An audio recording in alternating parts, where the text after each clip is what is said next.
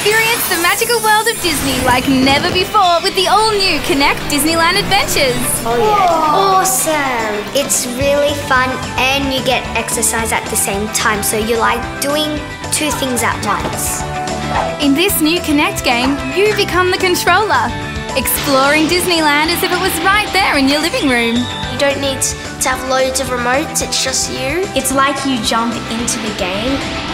Even though I have not been to Disneyland, I still got an image in my head how it's gonna look. Because when you play it, you can actually see how Disneyland looks. It's really good to play by yourself, but it's even better to do it with friends. The game makes me feel like I'm a part of it. It's like the game listens to you. Experience the magic of Disneyland like never before when you're the controller. Kinect Disneyland Adventures only on Kinect for Xbox 360.